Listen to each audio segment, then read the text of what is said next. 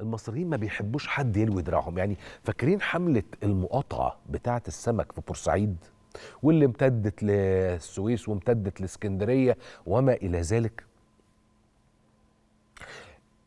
المصري ما بيتلويش دراعه. ولو تتذكروا سعر السمك نزل لأقل من 50% هناك في بورسعيد وهكذا. المصريين عاملين مكملين في الحملة علشان البيض والدواجن. ما هو ما ينفعش يا جماعة. يبقى سعر العلف نزل. إحنا بنتكلم من إمتى؟ يعني بتكلم من آخر أسبوع في شهر فبراير لحد دلوقتي. إحنا بنفرج عن الأع... لا إحنا طبعا بنفرج عن من قبل كده لكن أنا ما بقاش في عندي أي باكلوج في المينا على الأقل على الأقل بقالي شهر. طيب الدورة المفروض بتبقى 45 يوم. أنا بقول لك على الأقل شهر. يعني عمليا لازم أشوف سعر مختلف للبيض والدواجن. طب أنا ما بشوفش السعر المختلف ده ليه؟ فالمصري قال لك بس ولا تزعل نفسك. قطع يا حلو. نقطع السمك نقطع الدواجن نقطع البيض ومستعدين نقطع اللحمة. مفيش أي مشكلة على الإطلاق.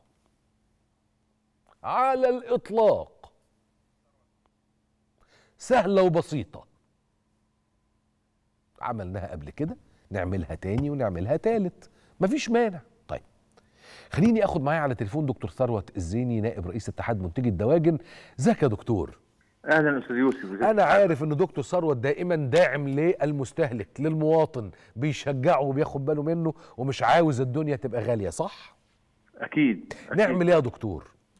أهلا وسهلا زي الصحة يا فندم. أهلا بيك يا فندم نعمل إيه بقى دلوقتي أصبح في يعني دعوات واضحة وجادة جدا لمقاطعة الدواجن ومنتجاتها تمام تمام هنعمل إيه بقى والله بص سعادتك آه، يعني فلسفة آه، المقاطعة ده شيء آه، حضاري وجيد لكن لازم ناخده في سياقه بمعنى إيه؟ إن نشوف أبعاد الموضوع إيه؟ مم.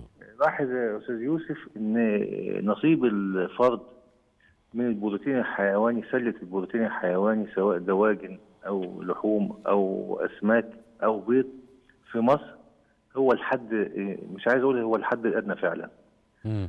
نصيب الفرد النهارده 100 بيضة في السنة و12 كيلو دواجن في السنة وما يكملش حوالي 17 كيلو سمك فاللي أنا عايز أقوله النصيب الفرد اوريدي هناك مقاطعة طبيعية عشان القوة الشرعية ضعيفة وإحنا عارفين التضخم موجود.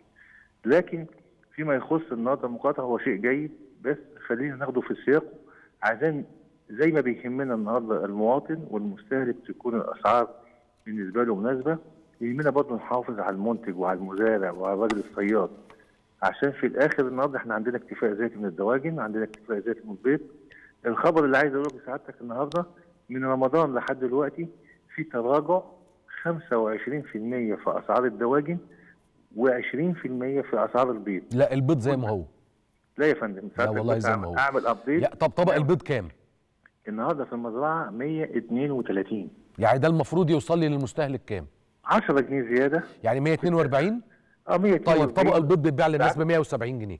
أنا بقول لسعادتك لا لا الكلام ده قديم سعادتك لا. لا. لا. طيب لا مش قديم ده امبارح. طب أرقامي سعادتك بعد امبارح. امبارح. امبارح. أنا أنا أنا يوسف أهو مواطن عادي جدا رحت أشتري بيض. لقيته ب 170 عند واحد و180 عند التاني. لا ده بيض مغلف أو موضوع تاني؟ يعني إيه بيض أنا- مغلف؟ طبق بيض كرتون آه، عادي. بطريقة معينة لا مش البلاستيك لا لا. مش البلاستيك لا لا مش البلاستيك والله. الطبق العادي الكرتون ده بتاع زمان اللي طول عمرنا بنشتريه. أنا مش من المرفهين أنا اللي بيروح يشتري البيض العادي بتاعنا اللي كلنا ممكن بناكله. ناخدها بالأرقام بعد إذنك؟ 170 180 ممكن ناخدها بالأرقام بعد إذنك؟ قول لي. في رمضان كان طبق البيض وصل في المزرعة 160 جنيه. أنا مسؤول عن الكلام ده النهارده طبق البيض. النهارده وامبارح 132 جنيه. أنا أيوه. راجل- ده من المزرعة. ده من المزرعة. إحنا- إحنا مسؤولين عن الفارم جيت. حلو. تداول موضوع تاني نتكلم فيه. ما ده اللي أنا بقوله بقى إن أنا عندي مشكلة إن أنا كمستهلك ال- السعر ده أنا ما بشوفوش. لا 132 ولا 142 ولا 152 يا فندم بعد إذن سعادتك أنا مسؤول عن الكلام ده وسعر البيض في المزرعه النهارده 132 أيوه يا كان- دكتور أنا مش بقول لحضرتك حضرتك بتقول كلام آه، مش دقيق اطلاقا. أنا أعلم إن حضرتك بتقول صح. أيوه سعر البيض في. المزرعة 132 أنا كمستهلك يا دكتور ثروت وحضرتك سيدي العارفين أنا ماليش دعوة بسعر البيض بتاع المزرعة. أنا مستهلك. أنا عايز اخش اشتري البيض بالسعر العادل. فلما اسمع انه في التلفزيون دلوقتي الاقي دكتور ثروت بيتكلم مع المذيع اللي اسمه يوسف ده وبيقول له سعر البيض في المزرعة 132 فطيب يعني المفروض يبقى بره بكام يا دكتور ثروت فدكتور ثروت يقول لنا يعني حوالي 10 جنيه فرق يعني 142 يجي. المستهلك ينزل عند البقال اللي تحت بيتهم يقول له لا والله خلي يوسف الحسين يجيب لك. هو عندي ب إذن سعادتك، 170 البقال اللي كان بيبيع ب 170 و180 النهارده بيبيع واخد سعادتك بأسعار ثانية في. تراجع 22% في سعر أنا. لازلت أؤكد أهو أنا بقول لحضرتك دي معلومة عني أنا مش عن زميلي مش عن أي حد من زمايلي المراسلين ولا في الإعداد أنا دخلت سلام عليكم البيض والحظ الرائع إنه أخونا البقال اللطيف الظريف ما يعرفنيش. ما شبهش قال لي 170 خلاص؟ قلت بقى لا أدور على واحد تاني. لفيت لفة. أنا مش عارف بس أقول المكان فين يعني دلوقتي. لا واحد تاني قال لي 180 حلفت 30 يا أمين براس أبويا ما أنا جايب بيض. تمام. سعادتك دلوقتي إحنا مختلفين في إيه؟ في سعر النهارده المزرعة وسعر النهارده الموزع. طيب. حلقات التداول أنا كراجل اتحاد منتجي الدواجن أنا مش مسؤول عنها. أنا ماشي. مسؤول النهارده على سعر المزرعة والدواجن متفقين. عشان بس حضرتك بتقولي لا أصل السعر ده قديم. أقول لك لا يا فندم جديد. تقول لي لا قديم. أقول لك لا جديد. محلات البيض النهارده يا فندم بتبيع من 142 145 محلات اللي هي فين طيب عشان نروح لها؟ محلات موجودة في موجودة في؟ مصر كتيرة جدا. مش عايزين نسمي في, في أحياء أيوه في أي منطقة. محلات يعني؟ متخصصة في أيوه طول. عمرنا عارفين إن في محلات بتاعة البيض اللي كان بيحط القش في البتاع الإزاز أيوة ونروح. نجيب البيض تراجع الأسعار عندهم هتلاقي الأسعار نزلت بنسبة 22% وأنا مسؤول عن كده طيب أنا هنزل النهارده السيدة زينب. تمام. هروح على محل بيض. ونراجع الأسعار وهصور لحضرتك السعر. وابعته لك. يا ريت يا ريت. أمان. ماشي. آه، سعادتك إحنا بنتكلم كلام آه، بعد إذن سعادتك كلام مسؤول كلام بأرقام. البيت كان في رمضان وصل 160 جنيه في المزرعة فارم جيت النهارده بنتكلم في 132 ده النهارده وامبارح. من من ثلاث أيام كان 145 في نزول النهارده حوالي 25% في سعر البيض في نزول في سعر الدواجن. الدواجن كنا وصلنا في رمضان سعادتك لأسعار قياسية. في سعر المزرعة عدت ال 100 جنيه و102 جنيه. النهارده سعر المزرعة 74 جنيه كام النسبة 25% ده معناها إن لو هي سعر مزرعة 74 ألاقيها للمستهلك ب 84 83 حسب الأحياء وحسب التداول وحسب المحل وحسب إحنا ما بنشوفش. السعر ده للأسف يا دكتور. نعم يا فندم؟ إحنا ما بنشوفش السعر ده للأسف. لا يا فندم الأسعار دي هي دي الأسعار الموجودة ودي النهارده إحنا مسؤولين عنها بأرقامها. يعني قول لي سعادتك النهارده النهارده مثلا كده 29 25 4 كان السعر 80 طيب ممكن نفرق ما بين حاجتين يا دكتور؟ اتفضل. ما بين سعر المزرعة فارم جيت زي ما حضرتك قلت وسعر البيع للمستهلك. أنا كده عندي فجوة. دكتور ثروت مسؤول في تصريحاته عن سعر المزرعة صح؟ تمام جميل. تمام. لكن سعر البيع للمستهلك لا أنا عندي فجوة تخض. تمام. تخض. حلقات التداول إحنا متفقين لازم نخفض حلقات التداول بس أنا أنا, هقول لسعادتك حاجة يعني بسيطة. كان المفروض الإعداد عند سعادتك يجيب survey النهارده من الأحياء ومن المحلات.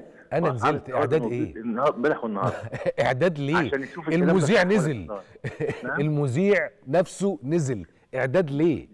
الم... المذيع المذيع نزل. المذيع عنده رجلتين و two eyes and can see فدخل بكام؟ بكذا. خد بعضه وروح. بس خلاص. ليه الإعداد يا فندم؟ سعادتك قلت هنعمل follow هنعمل follow سعادتك راجع الأسعار طيب.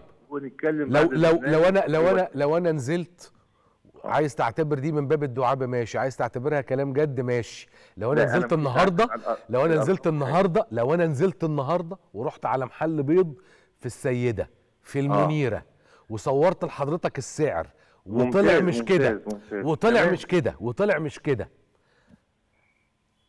كل ما كل متطلباتنا من البيض والدواجن لمدة شهر على حساب الدكتور ثروت سهل يا فندم لا أنا أطمن سعادتك يا فندم بعد النهارده استقرار سعر النقد الأجنبي وبعد توفره وبعد انتهاء السوق السوداء بدأ النهارده في ثقه للمربي أساس الإنتاج إيه؟